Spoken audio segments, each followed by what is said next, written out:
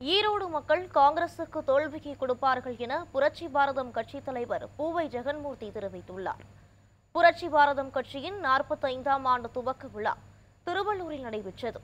நிகழ்ச்சிக்கு தலைமையேற்க வந்த பூவை ஜெகன்மூர்த்திக்கு மேலதாளத்துடன் பட்டாசு வெடித்து கட்சியின் மாநில இளைஞரணி தலைவர் மணபூச்சி மகா வரவேற்பளித்தார் இதனைத் தொடர்ந்து நடைபெற்ற நிகழ்ச்சியில் மாநில மாவட்ட ஒன்றிய நிர்வாகிகள் உள்ளிட்டோர் கலந்து கொண்டனர்.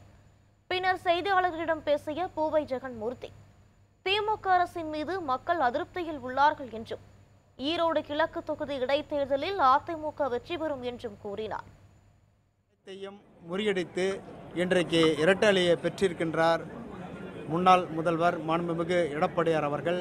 ஆகவே இந்த இரட்டை அலையை பெற்றதே முதல் வெற்றி அடுத்து தேர்தலிலே இரண்டாவது வெற்றியாக இருக்கும். ஆகவே கண்டிப்பாக இன்றைக்கு அனைத்து மக்களும் நடந்து கொண்டிருக்கின்ற திமுக அரசு மீது அதிருப்தியாக இருக்கிறார்கள்.